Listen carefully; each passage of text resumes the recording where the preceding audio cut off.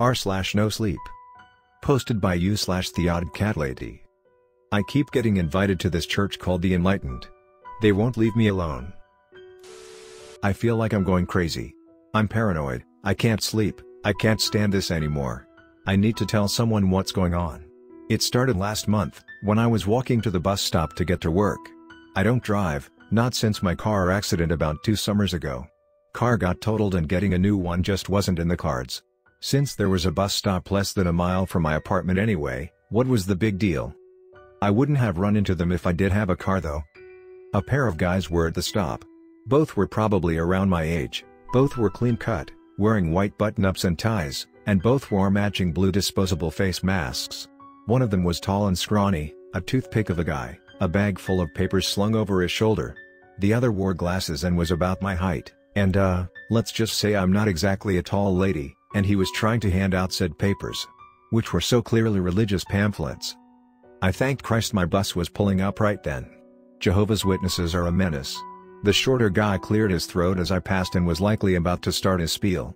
I cut him off with I have to get on this bus before he could even get started. I was not in the mood, I had things to do and I did not want to get preached at. I practically forgot about them by the time I got to work anyway. I cracked a few jokes about it to my coworkers, we laughed, then we got our heads down and went to work. Wasn't worth a second thought.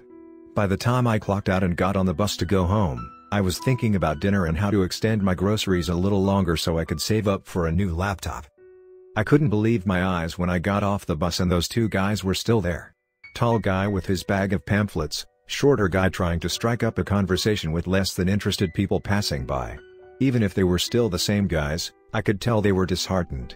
The tall guy was starting to nod off from where he sat on the bench and even the upbeat short guy was losing steam. I got off the bus just in time to hear a passerby tell him to fuck off and the poor short guy looked like a kicked puppy. I'd bet 20 bucks they hadn't given away a single pamphlet all day. Excuse me, miss? I felt bad for them, even if I find what they were doing completely obnoxious. So I slowed down. Yeah? The short guy's eyes went wide. I thought it was because he was shook someone actually stopped but it was actually for something else. Hey, you passed by this morning. He reached up and tapped his mask. I recognize the cats on your face mask. I remember thinking how cute they were. I laughed weakly before glancing at him and his buddy. Have you seriously been here all day? I asked. Yeah. Keep telling the minister that we'd probably get better success stories if we weren't in these monkey suits. The guy pulled at his shirt collar and mock gagged. Everyone just thinks we're Mormons or Jehovah's Witnesses. Wait, you're not? I blurted out. I couldn't help it, but can you blame me? The guy chuckled, the area by his eyes crinkling as he no doubt was smiling. Hell no. We're a bit different. Hey, it's about time to give up for the day. Peter and I are gonna go grab a coffee, how do you take yours? I snorted. Just because I'm being nice doesn't mean I'm gonna listen to whatever crap you want to tell me, I said. If you don't tell me, I'm just gonna get you a caramel macchiato. I sputtered for a moment while Peter gathered up his bag of pamphlets. The short guy held out his hand. I'm Sam. Do you want a caramel macchiato or not? In the end, I accepted the free drink. It was cold, I didn't want to seem like a jerk, and I enjoyed it outside with the pair of weird street preachers. Now that they were done with their thing, both had immediately relaxed their wardrobe. Both had ditched their ties, Peter had pushed up his sleeves to show off a fantastic flower-themed sleeve tattoo on his right arm, and Sam had untucked a necklace from his shirt that had a bunch of little strange silver charms on it. Sam sipped at his latte while we made polite conversation. Turned out Peter wasn't really the chatty type, only offering IMMHMM and sure every now and then to the conversation, but Sam was the one carrying the conversation. He had to take off the mask to enjoy his drink and he was actually kinda cute, completely inoffensive appearing human being. We didn't talk religion. We just talked about our days, what we do when we're not at work or preaching to uninterested people on sidewalks, and by the end of it I figured they weren't so bad. I only took a pamphlet after Peter offered one the second time, turned out Sam wasn't the only one who could look like a kicked puppy.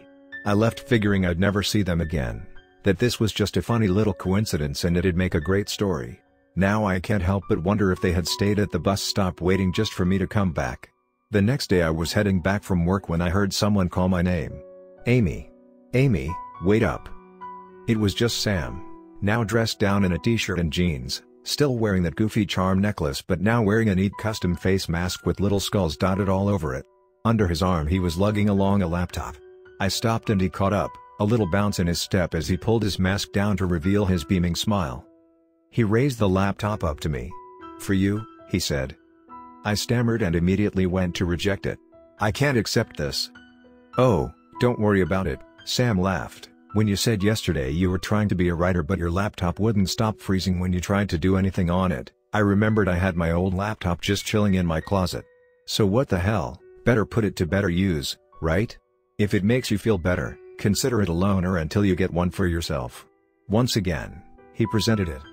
I won't say it was like brand new, but it was clearly bought within the last two years.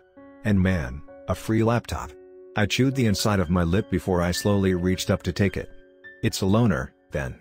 It's yours when I get my own. How often do you get new laptops? I asked. Practically every other year, Sam grinned sheepishly, I play a lot of video games, and I always want the best. I can afford it. Didn't think that giving out Jehovah's Witness pamphlets paid that much, I said as I continued to examine the laptop. Funny, Sam scoffed. You didn't even read that pamphlet, did you? I knew I was blushing, I always do when I'm embarrassed. Sam, thankfully, didn't seem all that offended. It's cool. I know you were trying to be polite. I won't tell Peter, but if you ever see him again, he'll totally figure out you didn't. And he'll be grumpy. He's pretty passionate about this sort of thing, you know? I sighed. Fine, I'll read it once I'm home. Great. I gotta get going, Sam rolled his eyes, pamphlets to give out, people to talk to. Ta for now. With that, he pulled his mask back up and hurried back the direction he came from. I took my new treasure home and almost immediately booted it up. It ran like a dream compared to my old computer. I was thrilled to bits and resolved to read that pamphlet while I worked on dinner, as my thank you to these pair of weird street preachers. The pamphlet itself wasn't too bad. It was white, with a black clip art oil lamp on the front and Times New Roman font reading The Enlightened. Inside was more basic clip art of people holding hands and it really just gave off the really basic feeling of community and raising each other up. The first line read the age of enlightenment is upon us. The reason behind everything exists with us. Sure, I laughed, that sounded cheesy as hell. But I read the whole thing, and it didn't seem all that nutty off the bat. The whole message can be summed up as how we're here to lift each other up in this world and that should be our goal in life. I had just finished boiling the noodles for my spaghetti when I heard a knock at my door. I didn't think much of it, wondering if it was just a late package as I headed for the door. I opened the door and there they were. Sam and Peter, back in their clean white shirts and ties, Sam raising his hand to knock again. We both froze. Sam's eyes bugged out before he chuckled. Huh. Funny coincidence. Hi, Amy. I cleared my throat. Hi. How did you find out where I lived? Get that question out first. We didn't, Sam shook his head, we're just going door to door to see if we can get more pamphlets out and if anyone that took one has any questions. Did you read it? He sounded honest, completely innocent of anything creepy. I glanced around the door to make sure there wasn't about to be like a mob coming in to murder me and steal my stuff.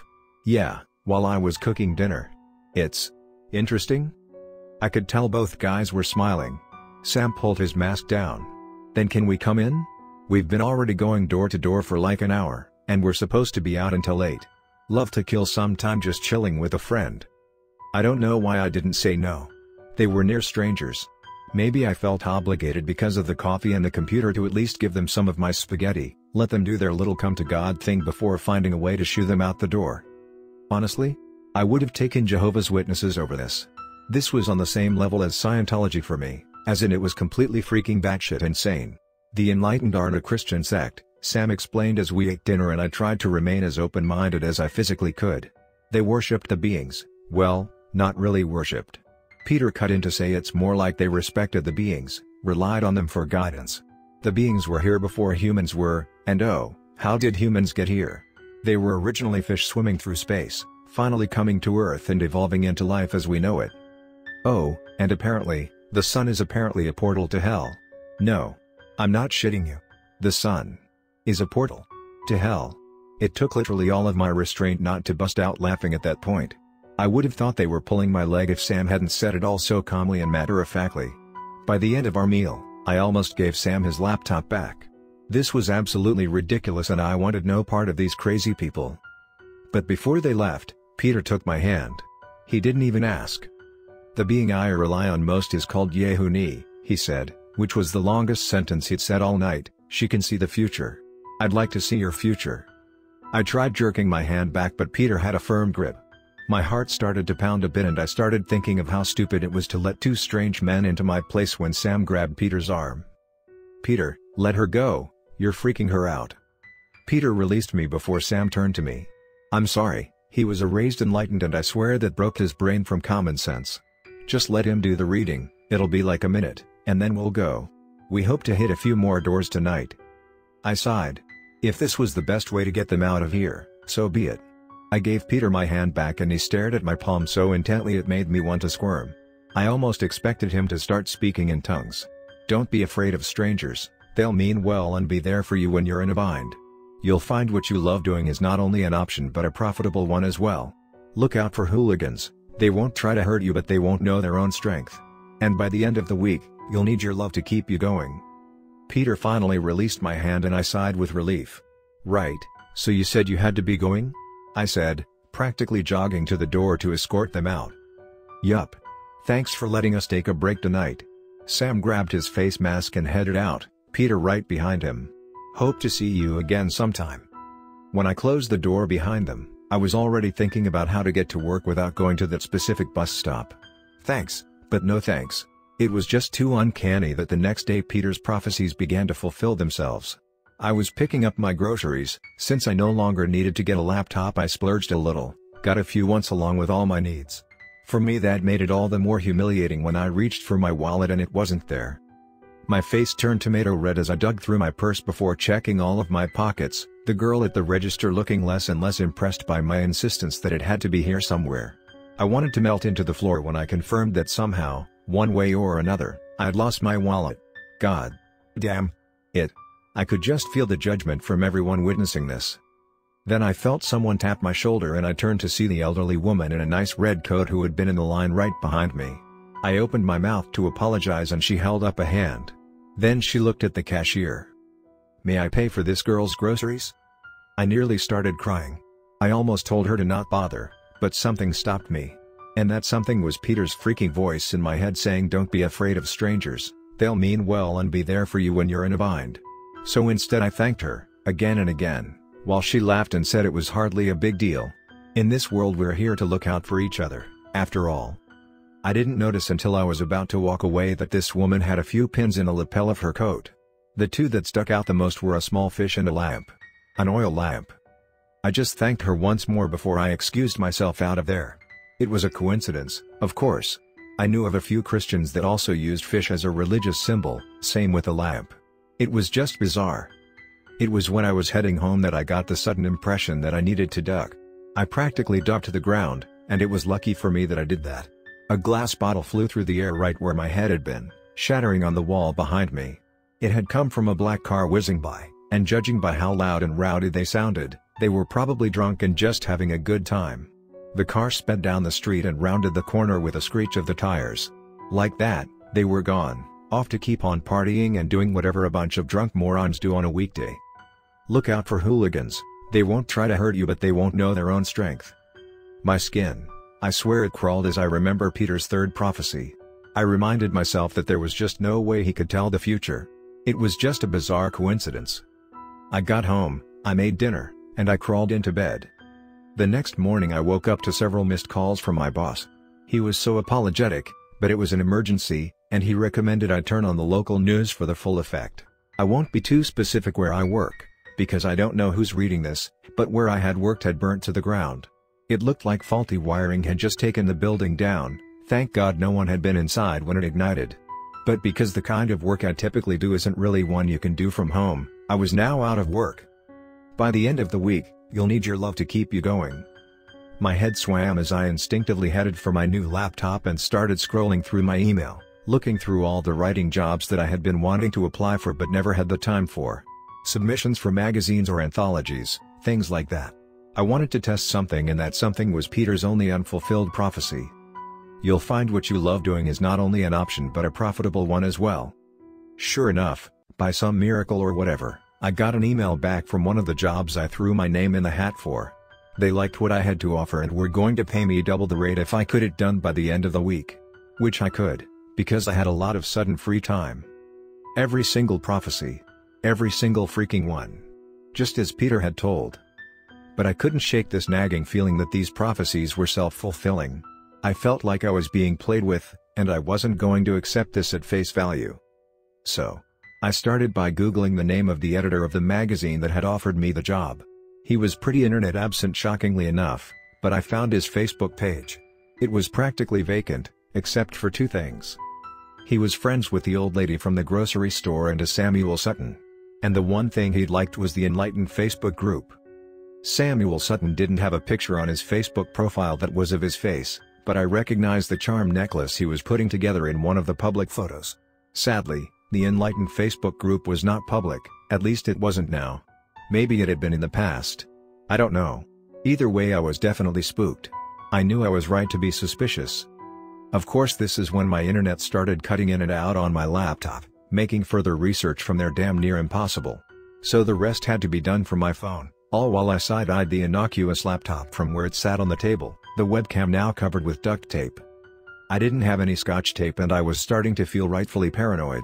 I googled the Enlightened and didn't come up with much other than a webpage clearly designed in the 90s. I scrolled through the bad website design and I came up with basically nothing new, other than the Enlightened were founded in the late 70s by a man named Ray White, formerly Ray Bram. He's now forever with the beings, aka his food for the worms. Or whatever the Enlightened do to their dead. I do not want to know. I blamed my following dreams that night about all the enlightened crap floating through my brain. I dreamed about floating through space, followed by thousands of others just like me. Not floating. Swimming. We saw the beautiful blue orb that grew bigger with every moment, until I realized that the blue orb was a planet. There was a golden light in the distance that also attracted my attention, and although its warm pulled at me, I knew I had to go to that blue planet. So down I went, through the atmosphere, through the clouds, and into the ocean below. I woke up before I started turning into a person, because I presume I was one of those stupid fucking fish Sam talked about. I hated it. What I hated more is that Sam just bumped into me while I was out for coffee. Never mind I'd never seen him at that coffee shop before he got me that stupid macchiato that started all this in the first place, and now suddenly he was there, acting like he'd been getting coffee there his damn life. He perked up when he saw me and waved. Hey, Amy, you're usually at work right now, right? Something happen? He said, sounding so casual and relaxed. My stomach twisted. I'm just here to pick up my coffee and go, I'm busy, I said, trying to hold back the shakes that came from seeing him here. When do you want the laptop back? When you don't need it anymore. But hey, if that one's not working out, I can see if Peter's willing to give up any of his old machines, Sam laughed, but I doubt it. He still has one of his dad's laptops, the thing's practically a blunt weapon with how heavy it is. Yeah, I have to go, I said, almost dropping my coffee with how fast I grabbed it.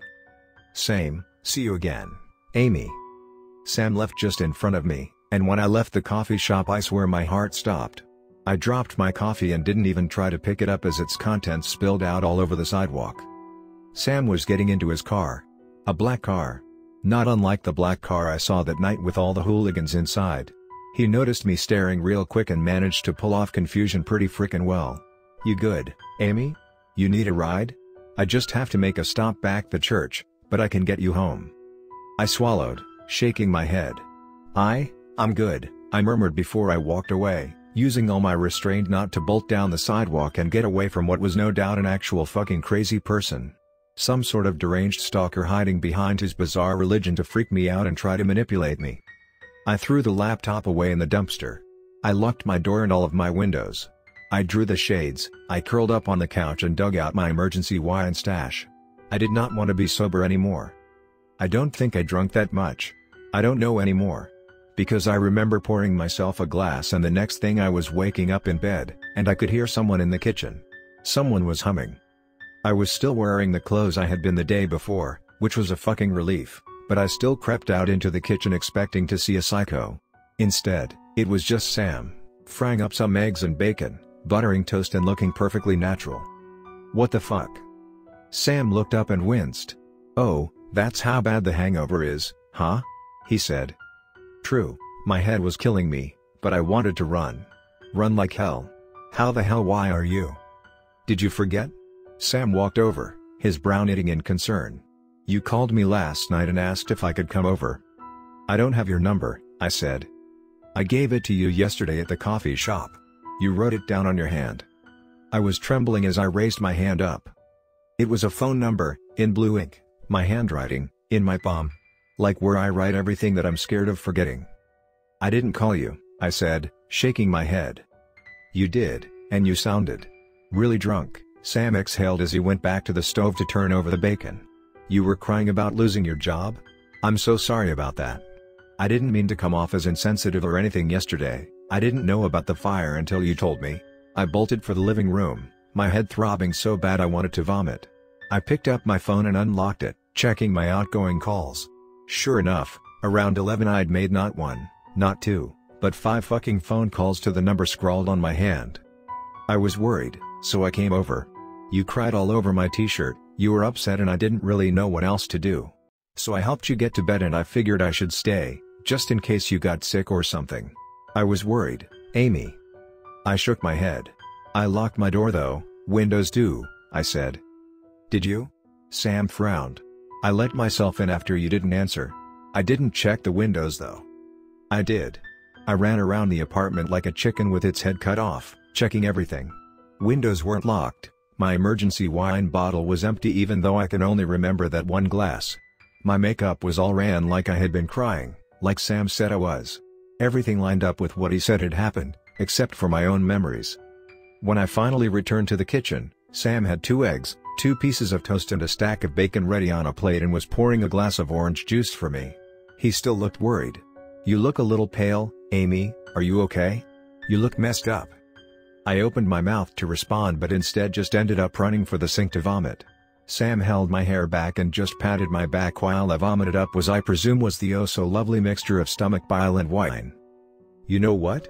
How about you go lay back down, I'll bring you your breakfast in a bit. You got Tums or Advil for the pain? I shoved Sam away, wiping the puke off my mouth best I could. I don't remember calling you.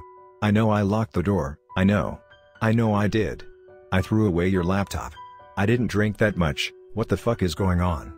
I sounded pathetic I'm sure, but you try sounding great during what felt like the worst hangover of my life. You what? Sam left my side and poked his head into my office before he laughed. What are you talking about, Amy? My laptop's right there. Christ, how wasted did you get? No. No way. Despite the room spinning around like I was on a carnival ride, I ran to the office. The laptop was still there. Not broken, not even dirty. Had I thrown it out after all? I can't even tell you for sure now. I just sunk to the floor, ready to start crying, while Sam squatted down next to me. I, I, I swallowed. I need to be alone. Or, I need my mom, she's not far from here. Sam handed me my phone, I had probably dropped it somewhere along the way during my run around the apartment panic. Go ahead. I gotta go to church anyway.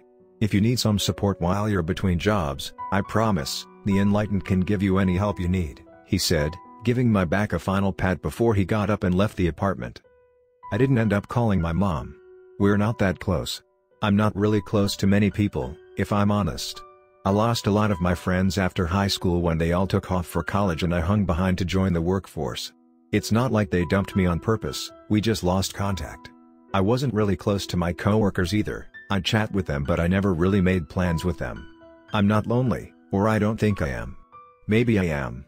Maybe that's why I talked with Sam and Peter that day. I was that pathetic and lonely that I talked with two randos I thought were Jehovah's Witnesses. This all started a month ago and I keep finding Sam and Peter in my life. Mostly Sam, and never Peter without Sam. I've refused all other fortunes from Peter, which clearly upsets him but I don't know if I care about his feelings. I am getting more writing jobs thanks to that first connection I made with that editor, but I am not using the laptop Sam gave me.